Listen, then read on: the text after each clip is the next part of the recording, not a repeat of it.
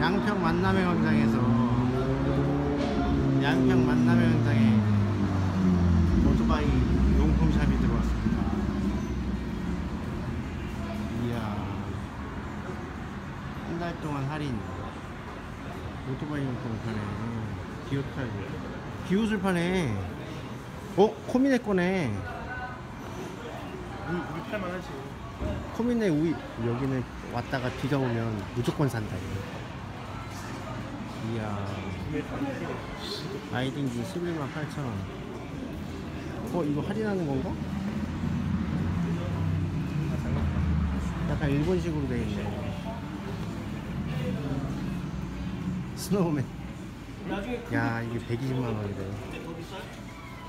여기는 던킨이고. 헬멧은 Shark 헬멧이 좀 이쁜 것 같은데